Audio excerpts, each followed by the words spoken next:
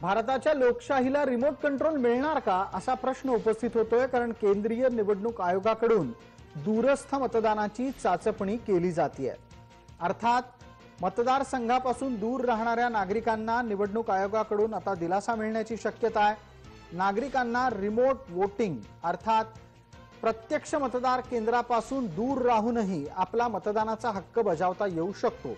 तशा प्रकारची चाचपणी केंद्रीय निवडणूक आयोग करताना दिसतोय.